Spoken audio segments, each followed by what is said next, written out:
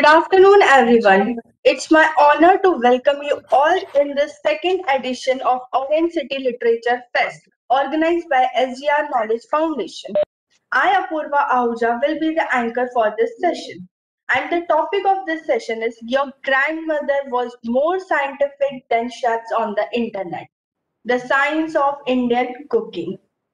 The guest of for this session is Krish Ashok sir. He is not a chef but cooks daily. He is not a scientist but he can explain science with easy to understand clarity. He is trained to be an electronic engineer but is now a software engineer. He learned to cook from the woman in his family who can make the perfectly fluffy idli without lecturing people on lactobacillus and pH levels. He likes the scientific method not because it offers him the ability to bully people with knowledge, but because it confidently lets him say, I don't know, let me test it for myself. When he is not cooking, he is usually playing subversive music on the violin. He lives in Chennai with a wife who sagely prevents him from buying more gadgets for the kitchen and a son who has the flora and fauna in the neighborhood terrorized. Handing this session to you, sir. Thank you, thank you, Apurva. Uh, I hope I'm uh, audible clearly, and my and my screen is visible, right? Yes, sir. Uh, okay, so um, so th- thank you. Uh, so I'm actually going to start with a, a bit of a story, right? Um, and that story is uh, it's actually in Italy. Uh, so a friend of mine uh, went with his family to to Italy. Uh, beautiful place, uh, and then you know it's it's been a year since we traveled. All of us traveled, but uh, so this happened uh, a while back, and he went to Italy and he essentially walked into a coffee shop, and you know although the history of coffee itself, history of coffee shops, actually kind of goes back to 16th century Britain, uh, thanks to their colonialism and the fact that they got uh, coffee from Ethiopia and Somalia, what is today Ethiopia and Somalia. Right, coffee shops obviously over the next two or three hundred years became ubiquitous everywhere. Right, um, and more specifically, I think it's the Italians who kind of really dominated that entire space by by sort of inventing espresso, all of the terms that you see everywhere around the world, right? Um, and so we casually walked into this uh, coffee shop in Italy um, and asked for a latte. Uh, we all walked into a coffee shop to ask for lattes and cappuccinos, right? So he asked for a latte, um, and and the barista gave him this, uh, basically gave him a cup of milk. So on that light note, and if you kind of didn't get it, latte in it, it, Italian just means milk, right? So we kind of use the language uh, to mean something uh, far more general than what it actually means. Italy, latte is just milk, right? In the rest of the world, latte is coffee and milk, right? So uh, if you're wondering why that has anything to do uh, with the talk that I'm about to give, um, it is um, because what I want to do is uh, is really talk about one why I wrote this book um, and uh, and to understand that, uh, the way I want to explain it is, is really think about how we all learn to cook. Um, and what methods we have um, and what tools and resources we use in order to learn to cook. Right? Um, so it's I'll kind of connect, the relevance of this latte to, to this entire story towards the end. Uh, but cooking is now um, an activity that we do two to three times a day. You know, ever since the pandemic, uh, more people are cooking, more people are learning to cook. Uh, there's only so much, uh, so many number of days that you can keep ordering from Swiggy and Zomato. After which, you know, your health goes for a toss. So, what is interesting is um, is that more and more people, uh, more and more young people, are learning to cook as a result of the pandemic, right? Um, so, which kind of raises this rather important question that I ask myself: How do people actually learn to cook, right? So, when you think about how people learn to cook. Uh, at the at the highest level, you know, people go to catering school. A very tiny, tiny, tiny number of people who decide that cooking is is their absolute life passion, and they they really want to become a professional chef. Uh, so they learn, they go to catering school, they you know they sort of work under chefs, and they, participate in master chef uh, contests and sort of come on TV, and they uh, and they kind of become big that way, right? So that's so that's one way of really becoming a professional, uh, if you will. But this is obviously not relevant for most of us because it's it's open to a very very tiny percentage of the population, and not only is is uh, the way you cook in a in a restaurant is fundamentally different from the way you think about how you cook at home. So th- there is that as well, right? So the second thing is obviously we all learn from our mothers and and grandmothers, right? So um, and this is interesting uh, because in the context of India and many other sort of uh, parts of the world, particularly in Asia, uh, a lot of cooking is mostly done by women who have no choice in the matter. Right? So you have no choice. So the moment you're 12 or 13, you know, you got to learn from your mother, and your mother learn from their grandmother. And in some sense, uh, a lot of people in India end up learning cooking by this method that I call apprenticeship. So in the sense that you kind of simply by practicing uh, and being an assistant to someone, you kind of learn you kind of learn the tricks of the trade uh, over you know over some years, and then after that it's just second nature. You can just like swimming, you can just go ahead and do it for the rest of your life. Uh, and this is fine, except that obviously you can see the, the, the problem with it, right? So one is that literally only half the population seems to be doing this, if at all, um, and then with the growth of urbanization and the fact that people don't often live with their older parents, people don't often, uh, people live in nuclear families and so on. This apprenticeship model of learning how to cook um, is, is doesn't scale, right? A lot of young people are just finding themselves living by themselves in cities, now figuring out, you know what, I need to learn to cook, right? So therefore, the pretty much the this elephant in the room is that people tend to learn from the internet, right? Um, and to some extent books. Uh, books used to be the way to learn uh, recipes and cookbooks in the past, uh, but it's largely being replaced uh, by the internet simply because it's easier. Um, it's easier to simply search for a YouTube video or a recipe on the internet or watch a two minute Instagram video uh, than sit and read a book, buy and then sit and read a book. So, in that sense, a lot of the food content uh, is largely dominated by the internet, right? So, so this, in some sense, is uh, where we are, right? Uh, so option three seems to be the dominant, but obviously there is a there is a problem uh, with the internet, right? So what is the problem uh, with the internet? Is that let me first start out by saying that it's first and foremost it's fantastic. The fact that we're even able to do this uh, session uh, on this literature fest virtually, the fact that it has democratized the ability to create content. so there are no gatekeepers. Anyone can write. Anyone can create content. That's absolutely fantastic, right? That's the positive side. The negative side is the fact that it's just it's just filled with too much information, right? Um, and very little in the sense of what is verified information and what is unverified information, right? Um, and we can kind of see this. This is not just about cooking, right? So the internet has had that positive effect in every area, right? It has democratized a lot of things. And by oh, that kind of democratization, it's also caused a lot of problems. I mean, you can see this in politics. You can see this in how people are now polarized to the point that each people everybody has their own sources of facts right so people believe whatever they see on whatsapp people believe whatever uh, website that they choose to follow and kind of that applies to all forms of knowledge which is that there's a the moment you have a ton of information and no filters and no great ways of verifying what is good and what is bad uh, you have this problem uh, which is that uh, it, you have to strike a balance right so in the sense is you either it's a Faustian bargain between democratization of information and the search for truth, right? So this is a wider philosophical point, and this is particularly true for food as well, right?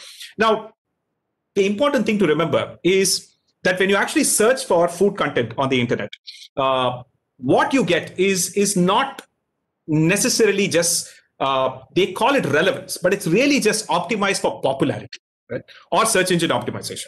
So the first few pages of results are essentially things uh, where essentially the content creator has been smart enough to optimize it to the point where multiple people have either searched or linked to it, and really that's what it is. So it's it's not actually any form of human peer review um, in any meaningful way as the amount of content of the internet actually goes up, right?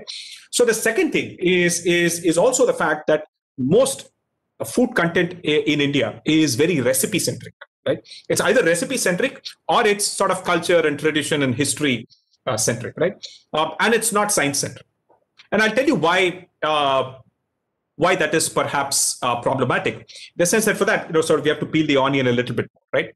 Uh, for starters, recipes what is a recipe? A recipe is essentially a set of instructions uh, to, to make a specific dish, right? Now, you know, really think back about how recipes are written. That the vast majority of recipes, barring the really, really good ones, which by the way are hard to find, are mostly untested in the sense that they're tested once, right? When you make it um, and then you write about it and you publish it on the internet, right? Um, it's not like you have a laboratory um, and like we are testing vaccines, you don't test it like 100 times and then say, you know what, it's the quarter teaspoon that makes it different and not half a teaspoon. That's not what happens, right? Um, but but most people who are reading recipes end up reading it as if that's it's the absolute gospel truth and that if i don't follow these exact steps and if i don't add this precisely quarter teaspoon of this and I, uh, uh, you know do it the other way around, it won't work, right? So a lot of beginners uh, essentially end up getting the wrong idea about cooking if they are learning only from recipes, right? So, which kind of brings me to this point about a lot of content on the internet also having this is what, what we call the authenticity bias, which is that um, every recipe for every biryani will say, this is the absolute this is the most authentic you know i learned it from my grandmother and so on. The reality is that every recipe in india is authentic to that family and that home. Every family's and every home's recipe is authentic right? I mean who's who's calling something else inauthentic? But if everything is authentic then nothing is authentic right so the whole the, the obsession with authenticity is is another problem because then people end up thinking that this is the only way to cook something when in reality it's it's it's definitely it really restricts your way of thinking about uh, adventurism in food as well and in my experience, I think the uh, another huge problem is this idea of uh, nutrition pseudoscience becoming an integral part of cooking itself, right? Uh, and in India, we just simply can't seem to get away from it, right? Yeah, we will. People will say you add you add turmeric because turmeric, you know, will will help you with Alzheimer's disease. You add ajwain because it will cure you of gas uh, or that you should do this because it is good for health, or you should not eat that because that's bad for health. Um, and there's something that you have to remember about uh, the distinction between science and pseudoscience, and especially why a lot of nutrition uh, in the context of India's pseudoscience is that you think about the fact that every literally every six months there's a new nutrition book out there. Right? There's a new diet, or paleo diet, that diet, vegan diet, that this diet, and so on. And what is interesting is uh, that if if the science was settled, right, I mean, Newton came up with, you know, uh, uh, uh Newton's laws in the 1600s. It didn't need changing for 300 years until Einstein marginally improved it, you know, with the special theory of relativity, right? But there is a, there seems to be a new fat diet book literally every six months. In our own lifetimes, you know, I grew up at a time when fats were considered bad. Okay? Uh, but now the science is that fats are okay, carbohydrates are bad, right? So it's it's it's this is a constantly evolving space. So what it means is that the moment you kind of mix, bring that pseudoscience into cooking, uh, then you're actually mixing things that don't need to mix. You you need to be broadly aware of health, and you know Michael Pollan's advice that you know eat eat food mostly plants and not too much is is about the most authentic nutrition advice I've largely seen, unless you have very specific heart issues or specific uh, diabetes and other things, in which case you need a special diet and so on. I think most people tend to kind of mix that nutrition pseudoscience along with cooking, uh, and that's a huge problem. And a lot of content on the internet is essentially filled with uh, those kinds of things, right? Which kind of brings me uh, to my larger point about uh, how we need to think about this, right? So a recipe as, as I said, kind of gives uh, you a false sense of the fact that uh, steps and proportions are non-negotiable. Right? For a beginner, that's okay because I, I simply want to follow instructions. Right? It's like learning. It's like learning music. Right? So in the, when you start to learn music, you don't want to improvise and you don't want to make up your own notes. You simply want to follow the instructions. You want to get the fact you build the muscle memory so that uh, you're able to accurately play something that was already composed and then you get good enough to be able to improvise. Right now, uh, in the context of cooking, right? Um, if you're just simply following recipes, that's essentially by, like being a beginner musician all your life. Right?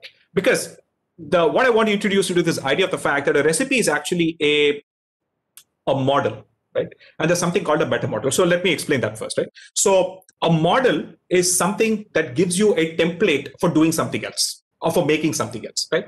Uh, a model for a car, a model for any object is essentially a set of instructions, if you will, to on how to make that, right? Uh, a meta model is one level above, right? So a meta model is one that says uh, that here's a way for you to generate a model for something, right?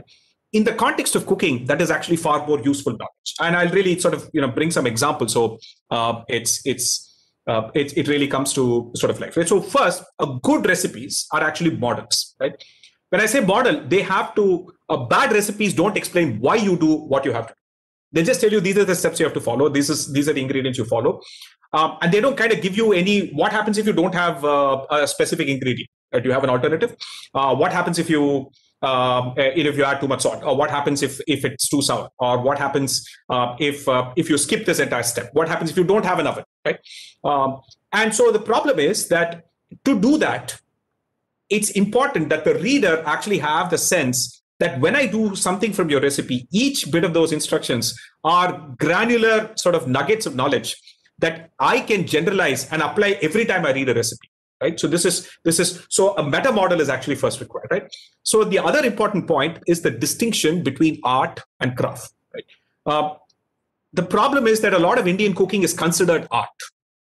In reality, it needs to be craft, right? Because craft requires documentation, right? It needs to be written down. And then there is this obviously there's a a bit of a larger historical context here. We've been a, a, a culture that has historically not written things down.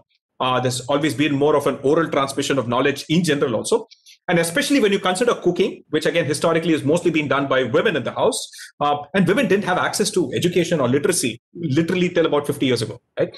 So there's literally 2,000 years of you know tradition that's largely been orally passed on uh, by from mother to mother to daughter and so on, um, and not really something that's been written down thought about generalized in the way that other other other uh, you know applied sciences or or crafts if you will um, have had the opportunity to do that right? So you have like art schools you have music schools uh, you have all of this uh, but you don't have uh, a, a gharana for cooking. You don't you don't have that equivalence because it is all considered to be sort of tacit knowledge that's in your head and not something that you can write down right? So this is so which kind of uh, brings me uh, let me actually take a very practical example right the example that I want to give is this idea. Uh, so here's an example of this is an excerpt from my book, right? Where I talk about what is a model for a dal makhani, right? A, a model recipe for a dal makhani. Right? Now, as you can see, one is that the recipe itself is kind of broken down into modular things, each of which it, it either says that it's optional, it's not optional, uh, and so on, right? So you you know, so there's a sense of a flavor base, which again, a lot of Indian cooking literally all Indian cooking from all parts of India starts off with heating oil and adding some spices to the oil, right? And the reason you do that is because uh, flavor molecules in spices tend to dissolve in oil, not in water. So you want to do that. And uh, literally all of the flavor of your dish essentially comes from that first step, not the rest of the steps, right? Uh, and then you essentially have a series of these steps uh, you have you can add a base gravy you can add your prep main ingredients uh, then you can add a stock you know you can add water you could add coconut milk you could add you know meat stock or you know leftover dal water from a previous this thing. Uh, and then you need to add an acid to add sourness because without sourness everything tastes a little bit more bland. Uh, then you need both salt and sweet for it to be balanced. And then finally ton, ton of things you can do right at the end, right? In terms of garnishing with herbs, in terms of adjusting the intensity by adding cream, because uh, adding fat uh, reduces the intensity of taste and makes things a little bit more muted, if you will, right? Finishing spices like garam masala, which should not be added at the start because you lose most of the aroma. So you want to add only right at the end and so on. Uh, and again, the intent here is, is that a model recipe like this is meant to describe why you're doing what you're doing so that it's easy for you to make a, dal makhani in many ways, right? Using different kinds of toppings, different kinds of, you know, you can use cream if you want to. You can use finishing oils if you want to. You can do dhungar or smoking if you want to. Uh, and by the way, if you're really experimental, you can use a little bit of alcohol uh, because alcohol really improves the flavor uh, of spices. And while most of the alcohol will actually, you know, burn off uh, and so on. So a lot of Western cooking uses wine or alcohol uh, in the in the process of cooking, uh, which actually adds a lot ton of flavor as well, right?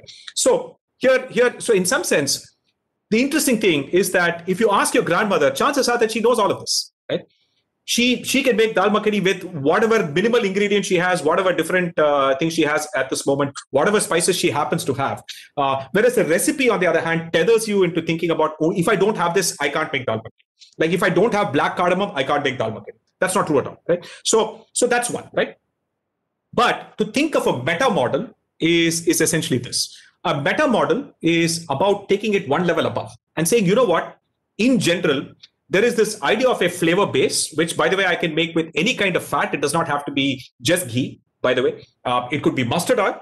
Uh, and I use punch panchforan to get a Bengali base. I can use uh, sesame oil and use curry leaves and garlic to get a, a, a South Indian kind of a flavor. Um, I could use, uh, uh say, uh, uh, ghee and cumin and others to get a Punjabi kind of flavor, right? So, so the whole point is that you think more in terms of general general sort of modules. Uh, and then, by the way, you can use the same base. And if you have dal, if you have different kinds of dal, you can make some kind of dal.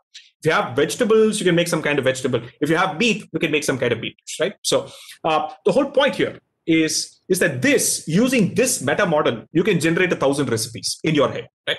So the intent of the book is to make you think along these terms. But to make you think along these terms, uh, you first need to understand a lot of the common language, right?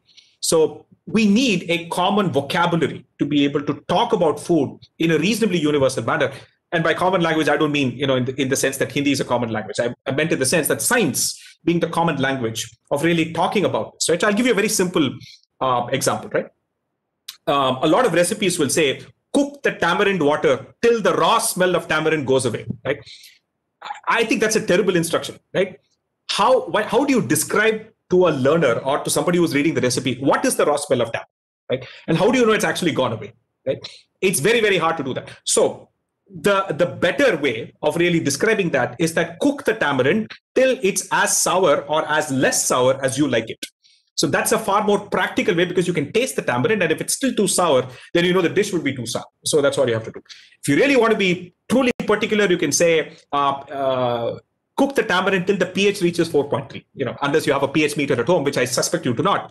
Uh, so you don't have to go that way. But really, top end restaurants, uh, at least in the West and so on, uh, have, for instance, discovered that uh, a truly delicious dish is in the range of 4.3 to 4.5 pH, which means that it is slightly acidic, it is slightly sour right?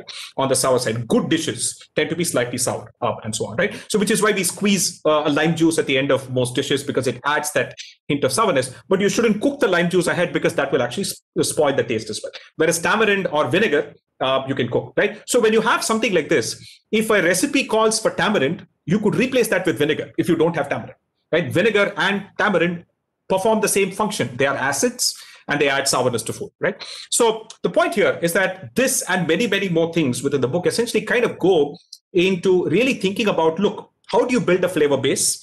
Um, how do you think about gravies? How do you thicken gravies? How do you specifically, what are the distinctions between cooking vegetables versus cooking meat versus uh, cooking uh, eggs versus cooking dal versus cooking rice and so on and these are different right so what kind of reactions happen if you understand some of those basics then what happens is that you are a lot more liberated. And you I, I want you to not ignore recipes right? So my intent is to say is not to say please stop reading recipes. In fact you should read recipes but read them in a fundamentally different way right? You should read them in a way that says that look this is a canvas for me to experiment right? Um, and that's essentially the spirit uh, that i want uh, sort of people to think. And and i want to uh, one of the things that uh, and, and i want to sort of step back a little bit again right?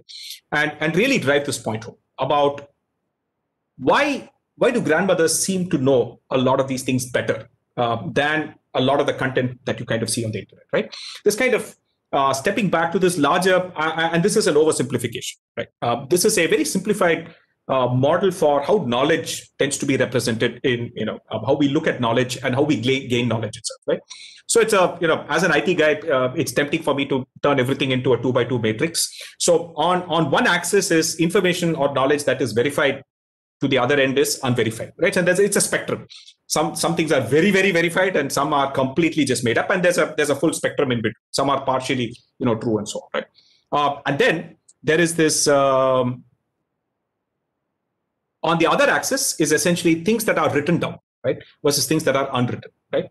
Um, unwritten knowledge is essentially largely tacit, right it's, it's it's not published it's not written down in a book it's it's not even documented somewhere on the internet it's just in people's heads right now, if you kind of take these two and kind of see different kinds of knowledge, right? So there is published science is, is one extreme. Published science essentially is that you have to experiment, you have to come up with a theory, you have to write a paper, uh, you have to present the data. A peer, uh, a set of your scientific peers have to verify, validate that, um, and see that this is actually right.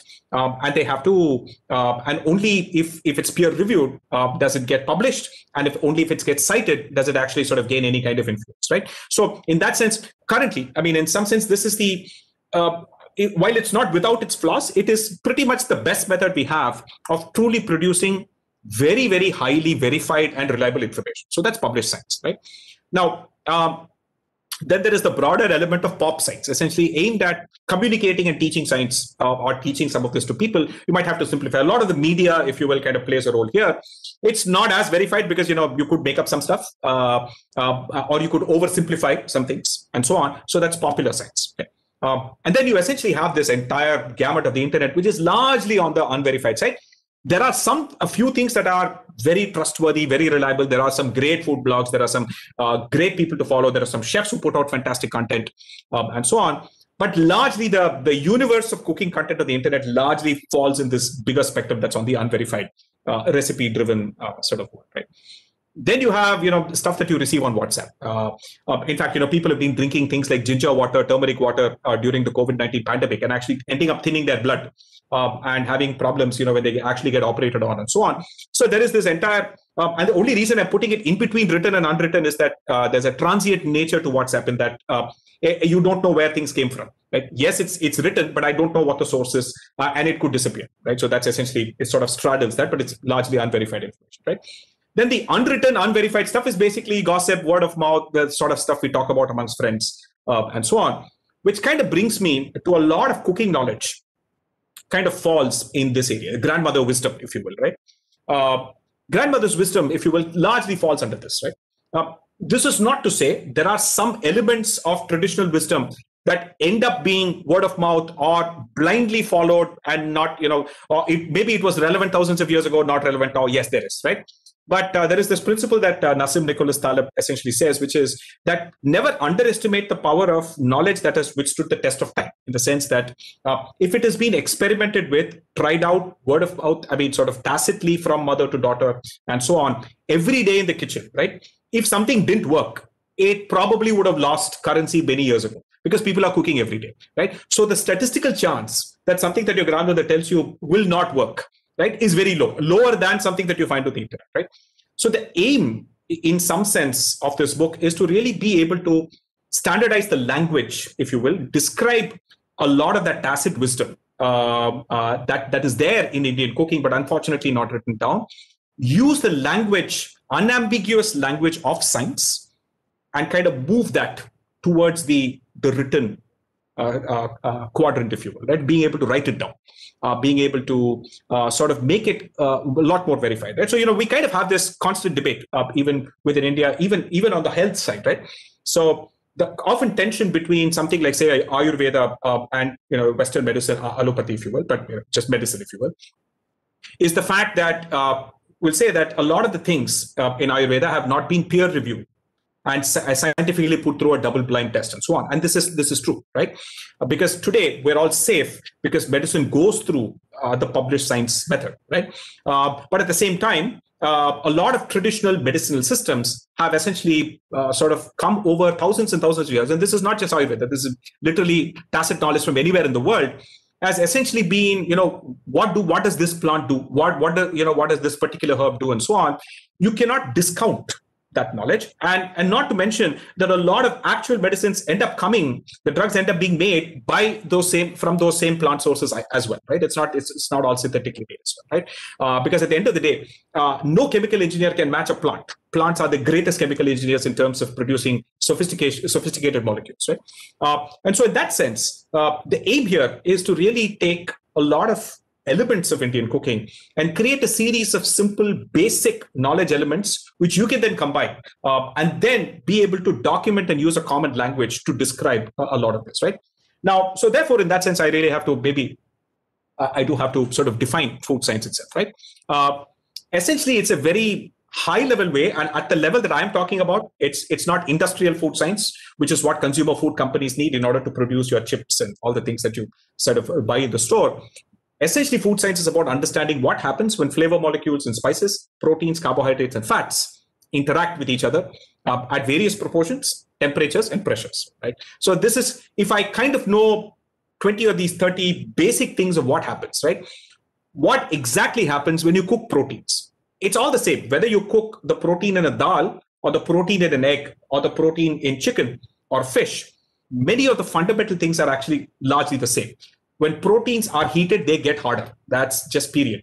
Beyond the point, they get really, really dry, right? But at one particular range of temperature, especially if bones are involved, then they get really, really soft uh, because of the gelatin that's produced uh, from connective tissue and so on. So it's just that. Uh, so likewise, when you boil an egg, there's a particular temperature range where the egg will be just right uh, and, and so on, right? So essentially, cooking proteins is, is a far, far more trickier aspect than cooking carbohydrates or fats. Uh, carbohydrates are, you know, uh, that's 50% of our calories come from carbohydrates. So essentially, understanding what are the elements to cooking rice, what are the elements to cooking uh, wheat, and what are the elements to cooking things like, say, potatoes, which are sort of your most common.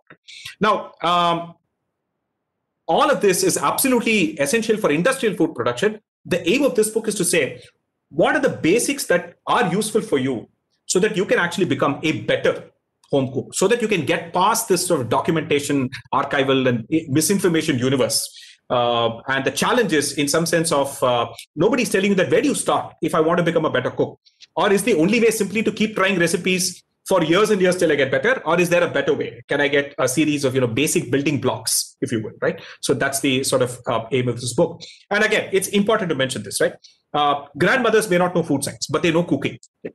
And that's the knowledge that comes ultimately right? So the intent of this book is not to say hey now that i know i know some technical terms i know starch gelatinization i know protein hydrolysis no i'm going to go to my mother and say hey you need to do this in order to cook better i think that's terrible. Uh, i don't think you guys should go and mansplain uh, the women in your house. Uh, instead learn to cook. Learn to cook faster more efficiently.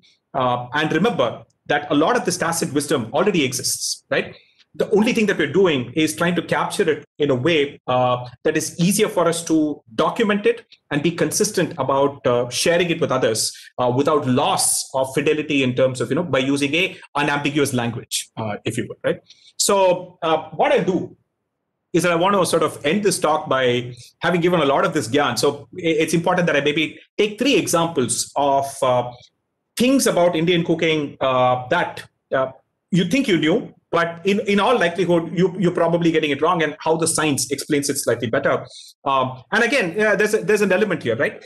A lot of the things that we end up doing in the kitchen will still produce great outcomes, but we may not know why it does. And we may think that the wrong reason for it is actually producing those outcomes, right? So one is is that a lot of people think that pressure cooking is measured in whistles, and this is again, you look at 99% of recipes on the internet, they'll tell you, please cook dal for five whistles, chana for 10 whistles, and things like that.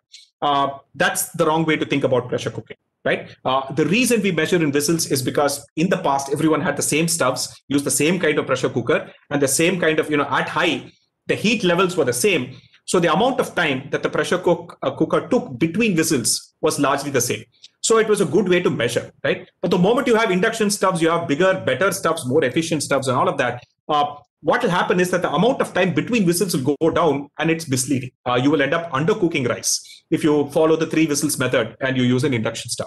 So it's important that the right way to actually cook using a pressure cooker is to let it come to one whistle, which is when it builds peak pressure, and then measure time right? Rice takes six minutes. After that, dal might take eight minutes. Uh, chana dal might take 15 minutes. And your rajma and chana might take you know 20 minutes and so on. And that's a better way. And so it's also more fuel efficient because you're not like, you know, uh, unnecessarily heating your pressure cooker. All you have to do after one whistle is to maintain pressure, not to continue applying heat, right? And then measure time. And that's when a lot of the cooking uh, actually happens. Uh, and another thing is that in general, uh, meat tends to be uh, needs to be cooked at a lower temperature, right? So not more than 70 Celsius, right? So uh, because of COVID, I think most of us have a you know a, a, temperature gun. Use that in your kitchen, right? So it's very very useful. Uh, you'll become a much much better cook if you really understand temperatures uh, in the kitchen right so and pressure cooking always happens at 120 celsius which is you know well above the boiling point of water right uh, and so therefore in general avoid pressure cooking meat unless you're cooking red meat uh, in which which already has is very tough and it needs to be softened and so on right uh, the second bit of science is is around uh, uh, how well you need to knead chapati uh, in order to get a soft chapati, right? Uh, it turns out that the reason you need to knead chapati is is that atta is actually made up of uh, carbohydrates and proteins. The proteins, there are two kinds of proteins that are relevant here, glu- and gliadin, which kind of form uh, gluten. Right? When you mix water, uh, what happens is that these proteins, unlike carbohydrate, carbohydrates love water. So they want to, the starches want to mix with water. The proteins are a little bit different. There are parts of the protein that want to mix with water, and there are parts of the protein that hate water. Okay?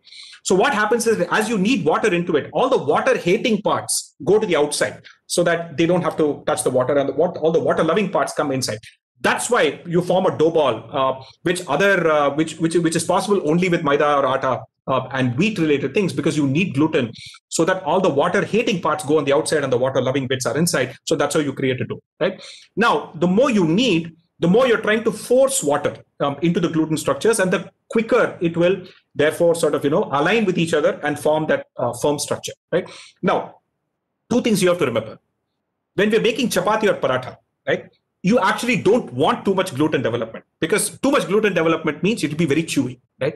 So what we've actually done historically is that rather than expect that people will knead very gently, we solve the problem by using a chakki mill, which is how you make atta.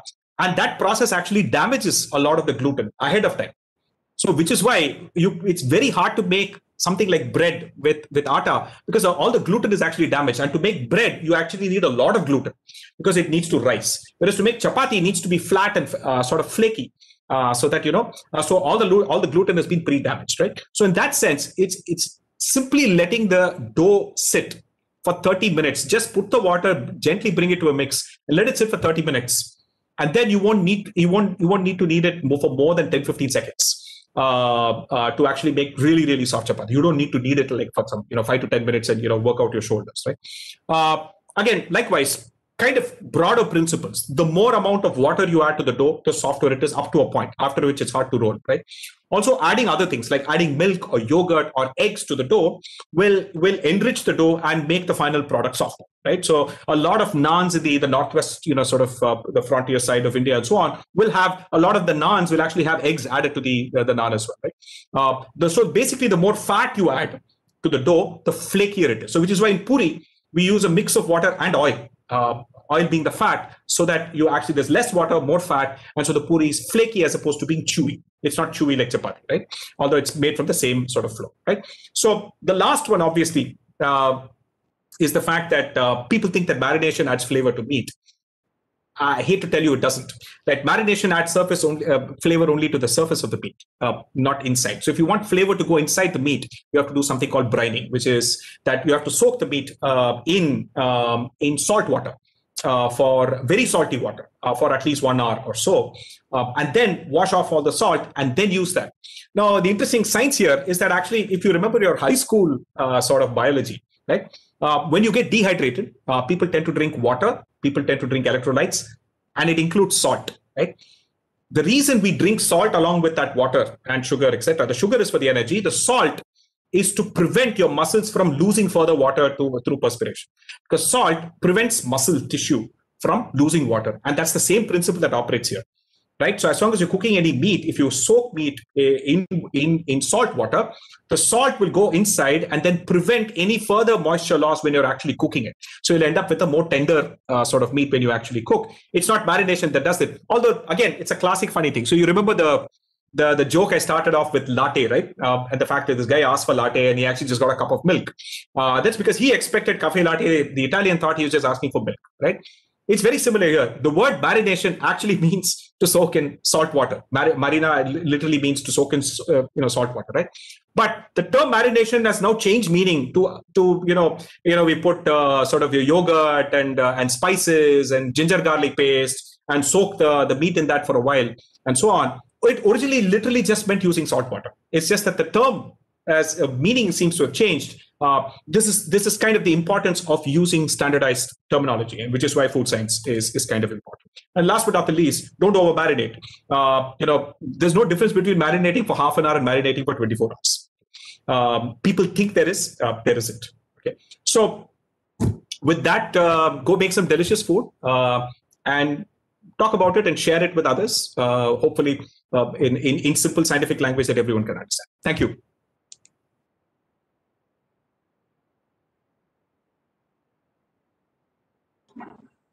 Thank you so much, sir.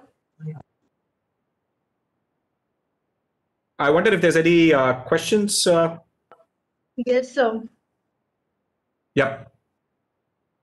Okay, so uh, a couple of uh, quick questions. I see. I see that are people uh, uh, on the traditional utensils, right?